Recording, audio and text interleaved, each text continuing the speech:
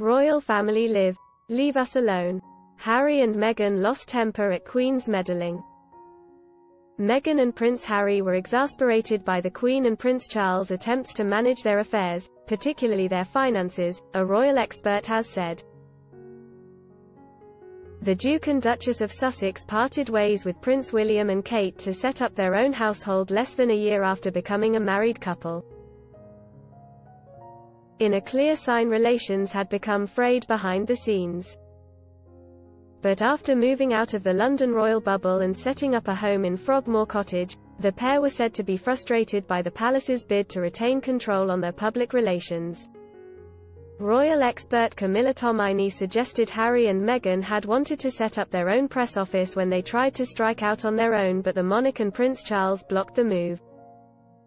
She said this may have been the final straw for the Sussexes who announced they were leaving their roles as working royals 10 months after going public about their new household. She told the ITV documentary Harry and William, What Went Wrong? Rather than have their own press office established, the Duke and Duchess of Sussex were told that they would be incorporated into Buckingham Palace.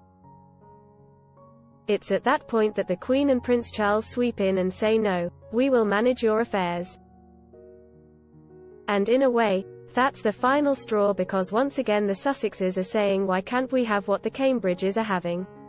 We should be on equal footing. Harry and Meghan's decision to break away from the Duke and Duchess of Cambridge's household was seen as a major indicator of a rift between the two couples.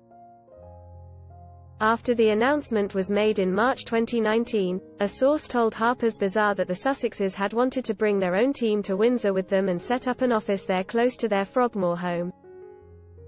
But the insider said it wasn't doable and instead Harry and Meghan's staff remained at the palace. Less than a year after the split was made public, Harry and Meghan announced they were quitting royal life to seek financial independence and a fresh start abroad.